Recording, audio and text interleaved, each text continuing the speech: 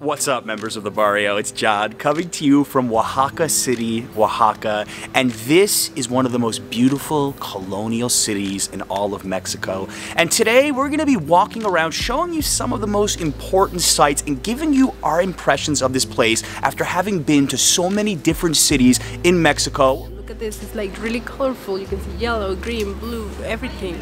And it's just really, really, really magic, and I'm pretty sure you're gonna love it too. All right, guys, the first thing we're gonna do today is try some Oaxacan coffee. I've had a little bit so far, but this is one of the things that Oaxaca is most well known for.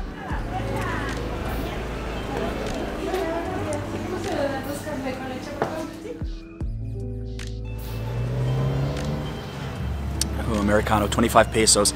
Definitely lives up to the reputation. Second cup of coffee I've had so far in Oaxaca. Very, very good.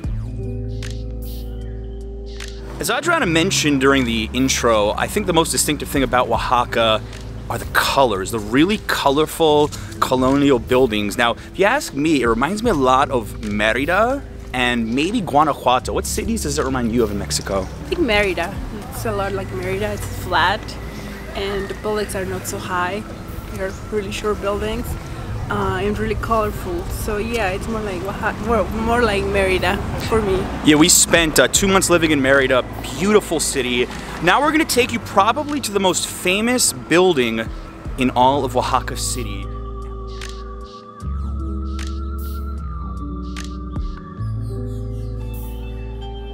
Templo Santo Domingo. This is one of the most popular meeting spots in the city. There's a nice square here right behind me at night. Uh, there's music, there's different performances, a couple of different things that you could do here. You can go inside the church. I don't really feel comfortable filming inside there. I don't want to bother anybody, so we're not going to film inside. You should check it out. There's also a botanical garden behind the church here, you need to take a two hour guided tour. We don't have two hours today to do it, so if you're into that sort of thing, check it out. But there is a museum, Museo de las Culturas, I believe it's called. That we're gonna go inside. I've heard it's one of the best museums in the entire city.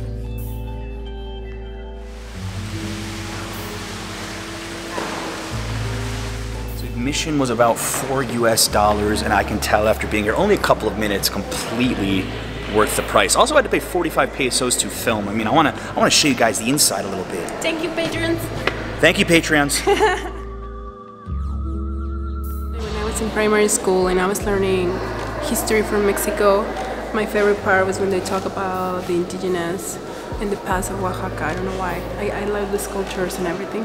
It was my favorite one. Adriana is telling me this could be one of the most Instagrammable museums in Mexico that she's ever been to. Beautiful.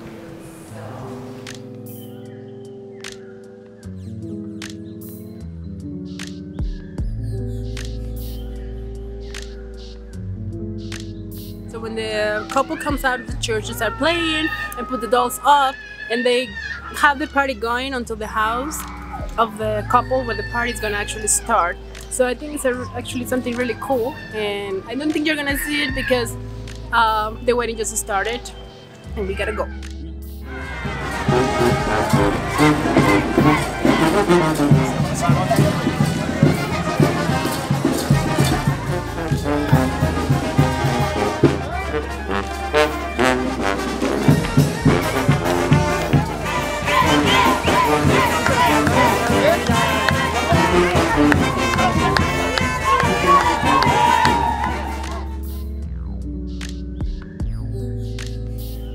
We're Calle Alcalá with the accent mark. This is pedestrian only street, pretty much leads right to the Zocalo. A uh, lot of, I'm about to hit by a car, a lot of shops around, a lot of vendors here. Just and obviously you see all the beautiful buildings. I just, I love the colonial style here and all the, the colorful brightness.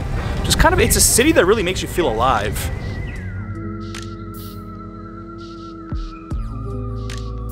This um, Christmas tree is decorated with a with a lot of piñatas and some toys too. It looks really cool. How do you compare it to the one in Rockefeller Center?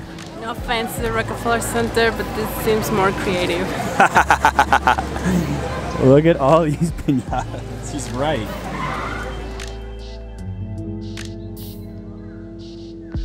We've made it to the Zocalo. This is one of the most popular gathering spots in Oaxaca City. You've got church, you have the gazebo over there, a lot of families as well meeting up, which is what I love most about Mexico, I would say, is just the real family culture on a weekend, everyone coming together, spending time, sitting, going to restaurants, so much uh, going on around here.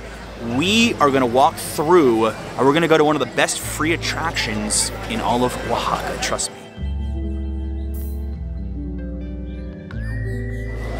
We have dinosaurs in Mexico.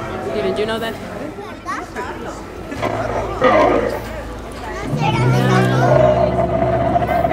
All right, we've walked into Centro Cultural San Pablo. As I said, this place completely free.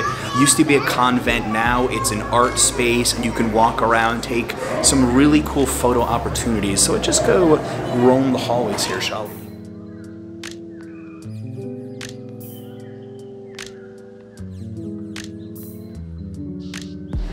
You know, when I mentioned I was going to Oaxaca to a lot of people, the first thing that came up was food, food, food.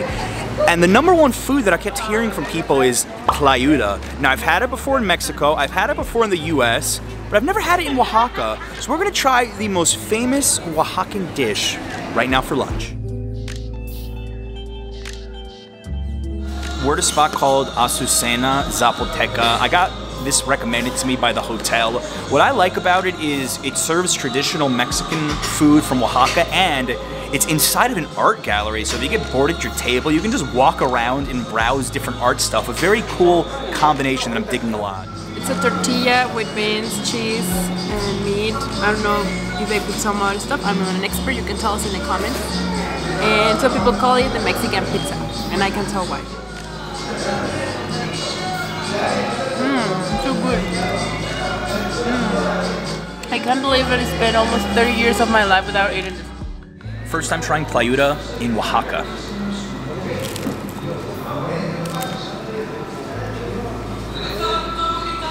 Mmm. I wouldn't say it's like pizza. I would say more it's like a hard shell tortilla with a lot of good stuff inside. Love the combo though of the pork and the beans. It's very good. That was a very solid meal of tlayuda. For our next stop, well, I've got a little surprise. We're gonna go to a very cool part of the city that I don't think a lot of tourists know about. We need to find a cab.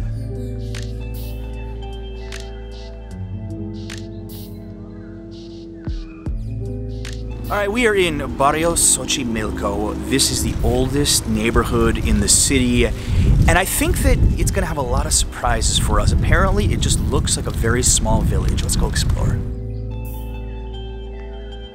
First of all, there's nobody here, just completely deserted. It's amazing. We've got street art on this side right here, and then you look on the other side and you just have the same, you know, beautiful colonial architecture that you see all over Oaxaca, and we're about a 20 minute walk or so from the center. So let's keep checking this out. I mean, we've covered the most famous food in Oaxaca, we've covered the coffee, but we've yet to cover one of the most important details, liquor. We're gonna try some mezcal. Get ready for this, guys. In my quest to help you guys travel smarter, I'm always looking for new websites and things to provide unique experiences, and I've just been such a fan of Airbnb experiences. They're not sponsoring this video. In fact, I'm about to pay for this mezcal tasting, but it just sold me so well. Having the ability to taste mezcal with a local and eat some mole at the same time. So we're paying for this out of our pocket. Special thanks to my Patreons for supporting us and helping us do things like this. Now let's get inside. Try to do in these uh, is that uh, we can understand that there are actually differences in the plants, okay? And uh, not only in the aromas that we're gonna get to see and the flavors, but also in how they pair with the moles. Mole is Smells like flavors wildflowers. That it can, it can compare. Wow. What? Too strong? Flavor. A lot of flavors? Mm, I like it. Yeah, at the end. You feel it. All right, so we're gonna we're gonna taste the mole, and then we're just gonna leave it here. Then I'm gonna down it with a mezcal. That was what we were instructed to do. Yo lo regaño porque me quiere llevar mole, cosas Tú llegan mis amigos mexicanos, Whoa. colombianos, así. Y vas viendo el mexicano. Flavor explosion. It's very interesting. It's a lot more fun than wine tasting. Seriously, this is such a fun city. Good food, good drink, good people. What else could you ask for? Uh, leave a comment down below if I missed something to do in Oaxaca. I'm curious, what should people do when they come here? Check out our other Mexico playlist, link down below. Thank you so much for watching. As always, until next time.